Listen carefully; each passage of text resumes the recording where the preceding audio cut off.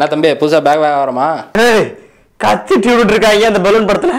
சீ அதுக்காக ப்ரூவ் பண்ணலாம்னா பேக் வியாபாரமா விளக்கமாரி வியாபாரமான்னு. இல்ல பார்க்கும்போது அப்படிதான் தெரிஞ்சுச்சு உனக்கு தோணும் உனக்கு மட்டும் எல்லாம் தோணும் வந்து. அதாவது பலூன் அப்படின்னு சொல்லிட்டு அந்த படத்தோட டீசர் பார்த்தேன். டீசர் பார்க்கும்போது செம்மையா இருந்துச்சு. அது முக்கியமா இந்த சீனு எப்படி?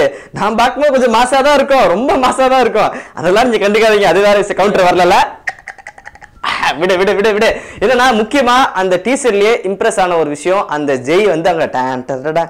டரடா அந்த அந்த டியூன் ஆரம்பிக்கும் போது தான் சூப்பரா இருந்துச்சு. அண்ட் பலூன் அந்த படம் சொல்லணும்னா அந்த படத்தை வந்து ப்ரொடியூஸ் பண்றது அவுரா ப்ரொடக்ஷன்ஸ் பண்றாங்க. எவ்வளோ பண்றாங்க? அவரா பண்றாங்க.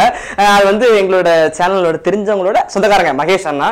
அவரால் அவர்னால வந்து ஒரு நல்ல ஒரு படம் பண்ணுறாங்க டோரான்னு சொல்லிட்டு சூப்பர் படம். அந்த படத்துக்கு அப்புறம் இந்த படம் பண்றாங்க. படத்தோட டைரக்டர் சைனிஸ் அவர் வந்து எண்டென்றும் சொல்லிட்டு ஒரு படம் பண்ணாரு. அந்த படத்துல வந்து சதீஷ் நடிச்சிருந்த டான்ஸ் மாஸ்டர் அதுக்கப்புறம் இந்த படம் பண்ணுறாரு இந்த படம் பார்க்கும்போது ஒரு ஃபுல் அண்ட் ஃபுல் ஒரு குவாலிட்டி ஹாரர் படமா இருக்குன்றத எந்த சந்தேகமுமே இல்லை. அந்த மாதிரி தான் இருந்துச்சு அந்த படத்தோட கதை நல்லான்னு சொல்லிட்டு அனலைஸ் பண்ண விஷயம். மண்டையை கசக்கி மூளை கசக்கி இவர் பெரிய அனலைஸ் பண்ணாரு. போதும் சொல்லி. கசக்கி எடுத்த ஒரு விஷயம் என்னன்னு கேட்டீங்கன்னா இது வந்து ஒரு பலூன் வியாபாரியோட ஒரு ஒரு கதை.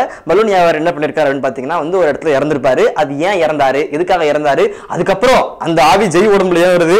ஜெய்யுக்கும் அந்த சம்பந்தம் என்ன அப்படின்ற பல விஷயங்கள்லாம் கலந்து வந்து அஞ்சலி வேற அஞ்சலி சாங்ஸ்லாம் வேற இருக்கு ரொமான்ஸ்லாம் இருக்கு. இதெல்லாம் கலந்த ஒரு நல்ல ஒரு பேய் படமா இந்த படம் பொறுத்தது. முக்கியமா இவரோட கெட்டப் ஆகட்டும் லென்ஸ்லாம் வச்சுட்டு வராரு சூப்பரா இருக்கு பாக்குறதுக்கு. அண்ட் ஒரு பக்கா ஹாரர் படமா இந்த படம் வந்திருக்கு. முக்கியமா இதுல பிடிச்ச ஒரு விஷயம் என்னன்னு பாத்தீங்கன்னா யுவன் சங்கர் ராஜாவோட பிஜிஎம் சான்ஸே இல்லை கடைசியில வர விட்டு அல்டிமேட் அப்படி தூக்கி போய் நிப்பாட்டிருச்சுமா வேற இடத்துல அந்த மாதிரி இருந்துச்சு. அடுத்து அஞ்சலி வராங்க. இந்த மாதிரி பல பேர் வராங்க. அது மட்டும் இல்ல முக்கியமா அந்த படத்துல வந்து யோகி பாபு இருக்காரு ஜனநேயர் இருக்காங்க. ஜனநேயர் காமிக்கல. ஒருவேளை பேயா வருவாங்க போல தெரியுது. அதெல்லாம் இருக்கு. அண்ட் தாண்டி பார்த்தோம்னா இது முக்கியமான ஒரு விஷயம் சினிமோட்டோகிராஃபி சான்ஸே இல்ல. பி. சரவணன் பண்ணிருக்காரு ஜெய். ஜெய் வந்து பார்க்கவே விஜய் மாதிரி இருப்பார். ஒரு சாயல்ல. விஜயோட பெரிய ஃபேன் அதெல்லாம் நம்ம சொல்லுவோம். ஆனா இந்த படத்துல ஒரு ஒரிஜினல் விஜய் ஃபேனா வருவாருன்னு சொல்லிட்டு ஒரு சின்ன இடத்துல அப்படி ஒரு சின்ன முடியல பிளிங்க் ஆகிற மாதிரி தோணுது. இது எப்படியோ இந்த படம் ரிலீஸ் ஆனதுக்கு அப்புறம் தான் இது எப்படியா எப்படியாப்பட்ட படம் என்ன படம் அப்படிங்கிறது தெரியும். என்ன படம்ன்றது நமக்கு தெரியும். இதுதான் கதைன்றது தெரியும். ஸோ ஒரு பலூன் வியாபாரி அவர் ஒரு லவ் பண்றாரு. அப்புறம் கசப் சசிலாம் காமிக்கிறாங்க. முடிஞ்ச உடனே பிரச்சனை மாட்டுது.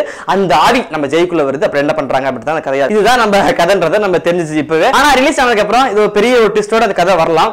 எது எப்படியோ இந்த டீச்சரை பார்த்தாச்சு. நம்ம கீழே நாங்க லிங்க் கொடுத்துருப்போம் அதையும் நீங்க பார்த்துருக்கலாம் இப்போ நான் கிளம்பிக்கிறேன். நீங்க என்ன பண்ணணும்? அந்த டீச்சர் பார்க்கணும்டா. தம்பி பார்க்கணும்ப்பா அப்படின்னா கீழே நாங்கள் லிங்க் கொடுத்துருப்போம். நீங்க போய் பார்க்கலாம். இப்போ நீங்க என்ன பண்ணணும்னா லைக் பண்ணும் கமெண்ட் பண்ணும். மறக்காம எங்க சேனல்ல சப்ஸ்கிரைப் பண்ணும். ஒரு நிமிஷம். தம்பி, வீடியோ? ஏய் சு.